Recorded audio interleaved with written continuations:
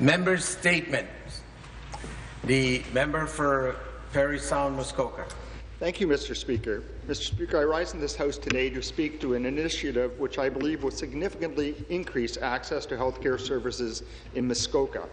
Earlier this year, a detailed proposal was put forward by the District of Muskoka to establish new nursing stations in communities across Muskoka. In the Ju July session of the legislature, I had an opportunity to question the Minister of Health on this proposal. He agreed to meet with the Muskoka District Chair and recently followed through on his commitment. I, along with District Chair John Klinck, Commissioner of Community Services Rick Williams, Lake of Bays Mayor Bob Young, and Muskoka Lakes Mayor Alice Murphy attended the meeting. I am very pleased with Minister Hoskins' decision to give the green light to the Muskoka Nursing Station proposal. In particular, the minister agreed to a three-year demonstration project, including funding for primary care staff and community hubs in Dorset and Port Carling, as well as a new mobile unit to provide service to Port Severn and Severn Bridge, and the reinstatement of nursing support for Wahta First Nations. The Ministry of Health is currently working with the local health integration network, the district, as well as other relevant agencies to finalize the details. I'm confident that the process of Im implementing the District Muskoka proposal has already be begun. With the great success of nursing stations in Parry Sound District and the significant community support that already exists for these nursing stations, it's my strong belief that this lo local project will be very successful. Thank you, Mr. Thank you. The member for London Fanshawe. Speaker, I would like to direct my statement today to the honourable members of the Liberal caucus, our government. The people of Ontario have, been, have given you a majority mandate. They have placed their faith and trust in you to deliver on the promises you made, especially given your reassurances that your government is transparent, transparent and accountable to the people of Ontario. As the third-party opposition, New Democrats have the responsibility to hold you and your record to account, and your record isn't good. My staff and I have spoken with countless constituents who come to my office asking what exactly this government is doing with their hard-earned tax dollars, because they want to see your government, they want to see, is your government, because what they want to see is your government failing to deliver on desperately needed funding for crucial services like the Development Services Office, Community Care Access Centres, and mental health services. They see Ontario government resources used inappropriately on joint vehicle safety blitzes with the CBSA, resulting in deportations. A lack of transparency there promoted me to write to the Ombudsman requesting a third-party investigation. The people of, of, this province need to see their government earn the trust that, you, that they gave you in June. They need to see where their tax dollars are going. They deserve transparency and accountability. They need to know their loved ones will be safe and well cared for in hospitals and long-term care homes, and, their, and that their families can actually afford to live in Ontario. I am asking you now to come through on your promises to the people of Ontario. Thank you. Member statement, the member for Burlington. Thank you, Speaker. I rise today in the House to recognize a great organization, the Ontario Dental Hygienists Association, whose head office is in my riding of Burlington, and to acknowledge its Executive Director, Margaret Carter, who is with us today.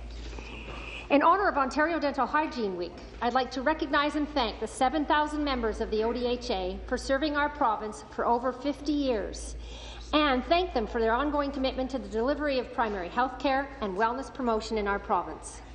Dental hygiene has been recognized and practiced as a profession for over 60 years, and since 1963, the ODHA has been representing the interests and needs of its members. Dental hygienists help clients attain and maintain optimum oral health, as well as prevent periodontal or gum disease and cavities.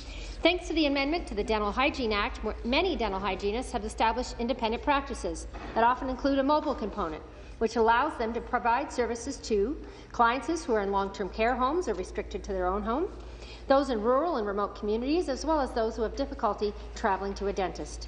With a mounting body of research showing the link between periodontal disease and countless other health conditions, the preventative treatment provided by dental hygienists takes on increasing importance. Mr. Speaker, in these entrepreneurial, it is these entrepreneurial dental hygienists, as well as those working in dental practices, education and public health, that today I ask all members of the House to join me in saluting during Ontario Dental Hygiene Week. Thank you. Here, here.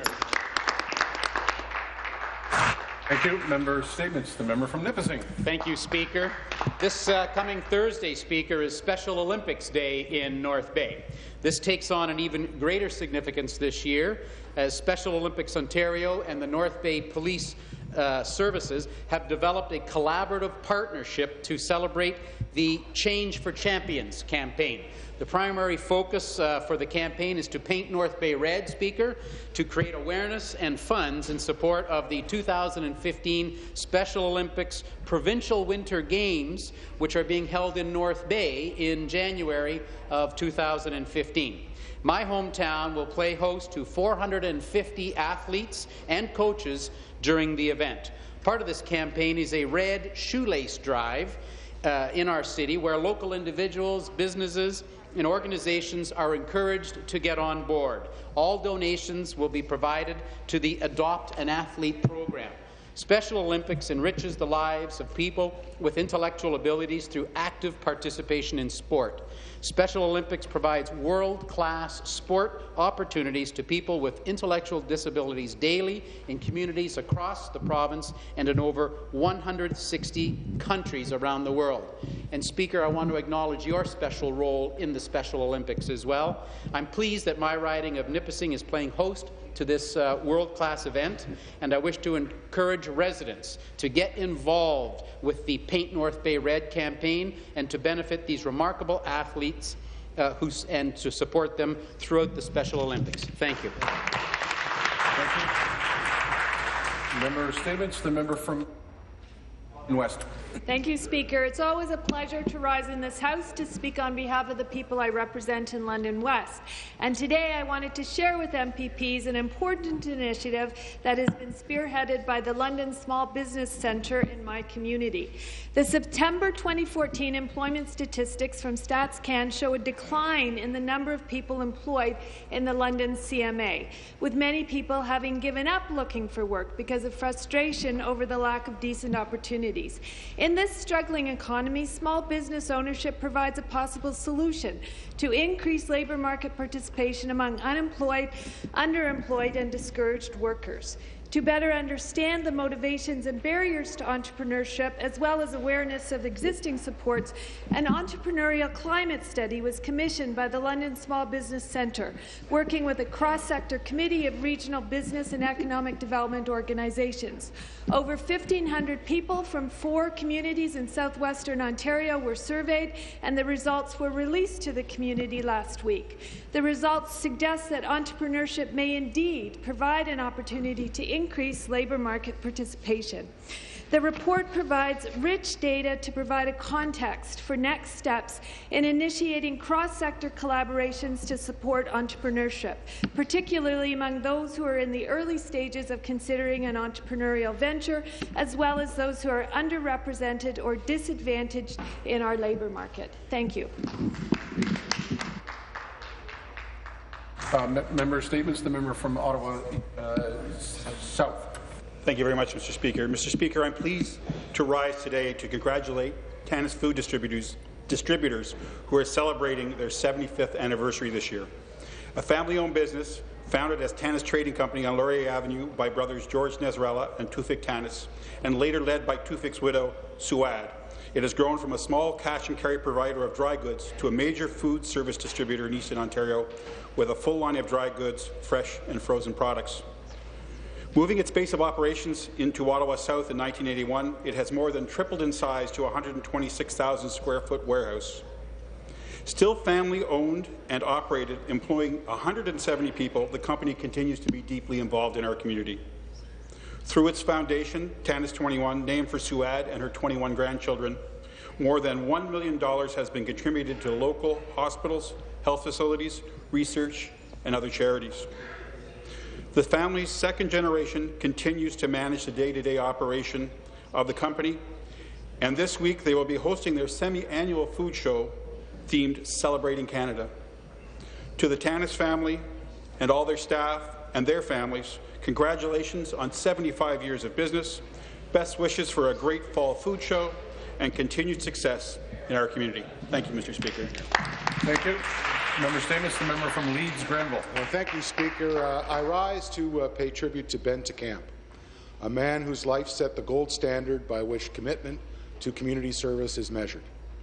Ben held many titles, three-term Brockville Mayor, honorary colonel of the Brockville Rifles Regiment, international rowing coach, teacher, husband and father. But to the city of Brockville and the many thousands of lives made better by knowing him, he was simply our beloved Ben. And his death last week at the age of 69 is a tremendous loss for Brockville.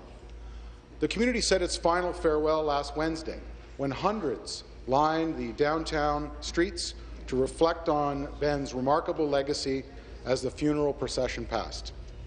Our true character is revealed in tough times, and Ben faced many, whether during his years as mayor or most recently with his health.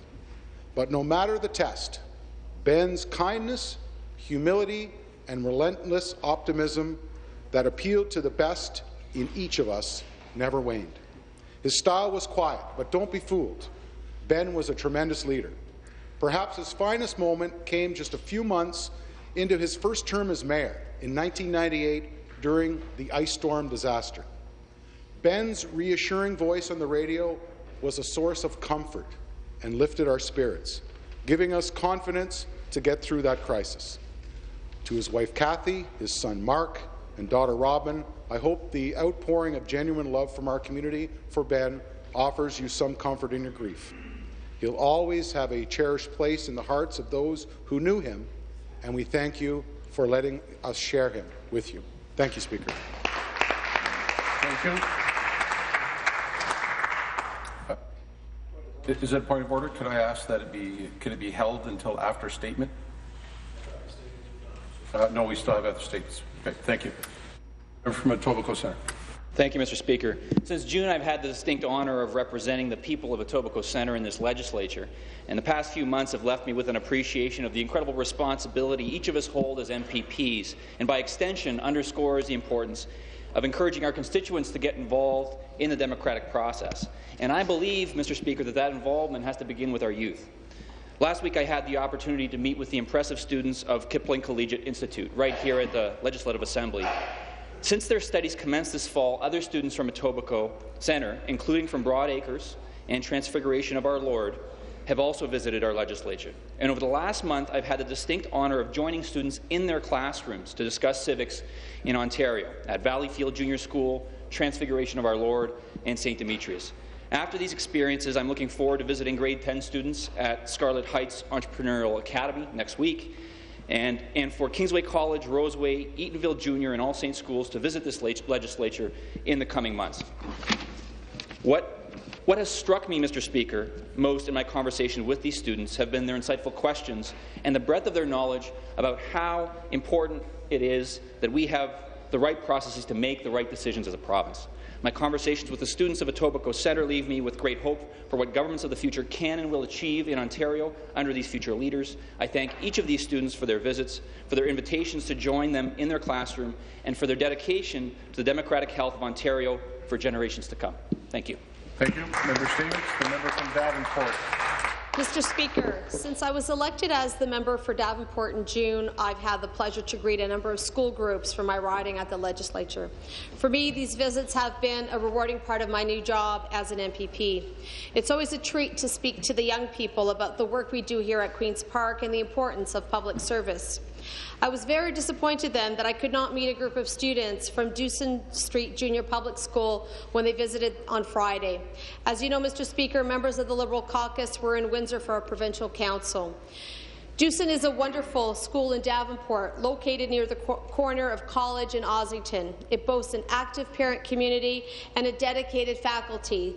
Students at Dewson are high achievers, consistently scoring above the provincial averages on EQAO assessments. I hope that I'll have the opportunity to show students and parents from Dewson around the legislature on another occasion. Thank you. Member from Windsor Tecumseh on a point of order. On a point of order, thank you, Speaker. And with your indulgence, if I could introduce a friend from Windsor who is here, Charlie Hotham, the president of Hotham Building Supplies, is the president of the Windsor Construction Association, and he's here to invite you all to attend the reception at 5 o'clock in the dining room with the Construction Association of Ontario. Charlie Hotham, welcome to the legislature.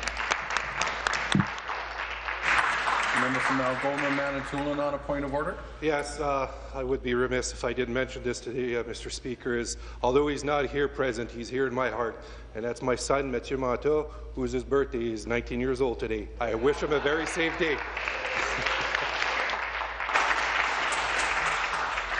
These are the kinds of points of orders that make me smile. but anyway, I want to thank all members for their statements. I point out uh, special uh, notice of the, the member from Nipissing uh, made reference, uh, for those that do not know, I'm on the Bo- Ontario Board of Special Olympics Ontario, and I will be making available in support of our games in uh, North Bay through the member uh, the red shoelaces that are uh, symbolic of uh, Special Olympics Ontario, and I would encourage all of you to get involved locally uh, and uh, pay them a visit. They're the, one of the best examples of athletes I've ever seen in my life. So thank you. I beg to